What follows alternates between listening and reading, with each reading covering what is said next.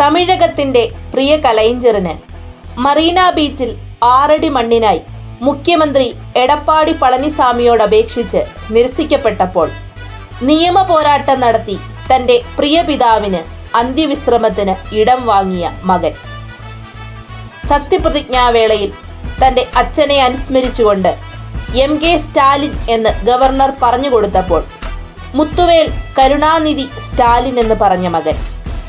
ഇന്ന് ഈ മകൻ ആ ഇതിഹാസ നായകന് പ്രണാമമർപ്പിക്കുമ്പോൾ തമിഴകത്തിന്റെ മുഖ്യമന്ത്രിയാണ്. പത്ത് വർഷത്തിനു ശേഷം ഡി എം കെയുടെ ഉയർത്തെഴുന്നേൽപ്പ്. അങ്ങനെ സ്റ്റാലിൻ അവരുടെ ദ്രാവിഡ മുതയിൽവറായി എം കെ സ്റ്റാലിൻ മുത്തുവേൽ കരുണാനിധി സ്റ്റാലിൻ ആരാണ് അദ്ദേഹം? തമിഴ്നാടിന്റെ മൂന്നാമത് മുഖ്യമന്ത്രിയും ദ്രാവിഡ മുന്നേറ്റ കഴകത്തിന്റെ പ്രസിഡന്റുമായിരുന്ന എം കരുണാനിധിയുടെയും ദയാലു അമ്മാളുവിന്റെയും മകനാണ് സ്റ്റാലിൻ. മദ്രാസ് സർവകലാശാലയ്ക്ക് കീഴിലുള്ള ദ ന്യൂ കോളേജിൽ നിന്നും ചരിത്രത്തിൽ ബിരുദ പഠനം പൂർത്തിയാക്കി. രണ്ടായിരത്തി ആറിലെ നിയമസഭാ തെരഞ്ഞെടുപ്പിന് ശേഷം രൂപീകരിച്ച മന്ത്രിസഭയിൽ തദ്ദേശ സ്വയംഭരണ വകുപ്പിന്റെയും ഗ്രാമീണ വികസന വകുപ്പിന്റെയും മന്ത്രിയായി. രണ്ടായിരത്തി ഒമ്പതിൽ തമിഴ്നാട് ഗവർണർ സുർജിത് സിംഗ് ബർണാല സ്റ്റാലിനെ ഉപമുഖ്യമന്ത്രിയായി നാമനിർദ്ദേശം ചെയ്തു. അങ്ങനെ തമിഴ്നാടിന്റെ ആദ്യ ഉപമുഖ്യമന്ത്രിയായി.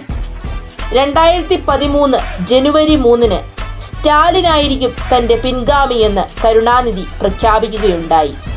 രണ്ടായിരത്തി പതിനേഴ് ജനുവരി നാലിന് സ്റ്റാലിൻ ദ്രാവിഡ മുന്നേറ്റ കഴകത്തിന്റെ വർക്കിംഗ് പ്രസിഡന്റായി ചുമതലയേറ്റു. ആയിരത്തി തൊള്ളായിരത്തി അമ്പത്തി മൂന്ന് മാർച്ച് ഒന്നിന് മദ്രാസിലാണ് ഇദ്ദേഹം ജനിക്കുന്നത്. ഇദ്ദേഹം ജനിച്ച് അഞ്ചാം ദിവസം അന്തരിച്ച റഷ്യൻ ഭരണാധികാരിയായിരുന്ന ജോസഫ് സ്റ്റാലിന്റെ പേരാണ് കരുണാനിധി ഇദ്ദേഹത്തിന് നൽകിയത്.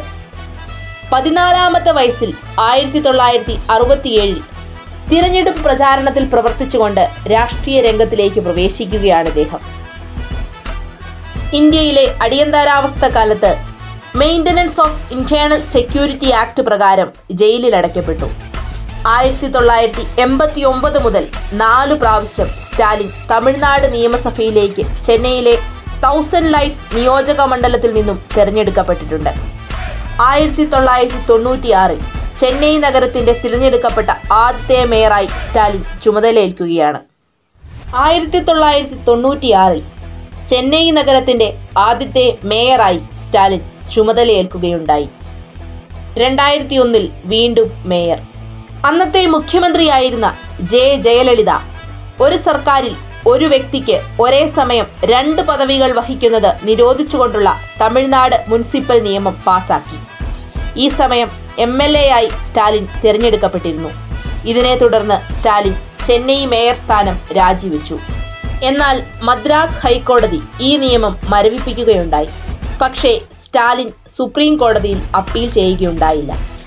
പല പ്രാവശ്യങ്ങളിലായി സ്റ്റാലിൻ അറസ്റ്റ് ചെയ്യപ്പെട്ടിട്ടുണ്ട്. ഇപ്പോൾ ഇതാ രണ്ടായിരത്തി ഇരുപത്തിയൊന്നിൽ തമിഴ്നാട്ടിൽ എം കെ സ്റ്റാലിന്റെ നേതൃത്വത്തിലുള്ള ഡി എം കെ മന്ത്രിസഭ സത്യപ്രതിജ്ഞ ചെയ്ത് അധികാരമേറ്റു. ആഭ്യന്തരമടക്കം മുമ്പ് കരുണാനിധി ചുമതല വഹിച്ച ഒട്ടുമിക്ക വകുപ്പുകളും മുഖ്യമന്ത്രിയായി സ്ഥാനമേൽക്കുന്ന സ്റ്റാലിൻ വഹിക്കും.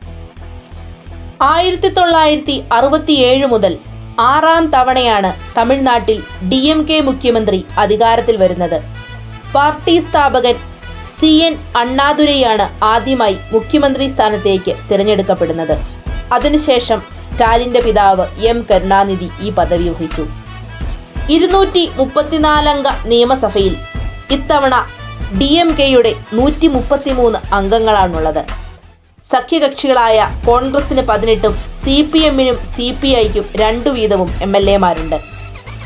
താരപദവി ആരാധിക്കപ്പെട്ടിരുന്ന തമിഴ്നാട്ടിലെ കമൽഹാസന്റെ പരാജയം എം കെ സ്റ്റാലിന്റെ മുഖ്യമന്ത്രി പദം. വലിയ മാറ്റങ്ങളിലേക്ക് തമിഴ് രാഷ്ട്രീയം മാറുമ്പോഴും അവിടെ അതിവൈകാരികത ഇന്നും നിലനിൽക്കുന്നു. വരും കാല തമിഴ് രാഷ്ട്രീയം എങ്ങനെയെന്ന് കണ്ടു തന്നെ അറിയാം.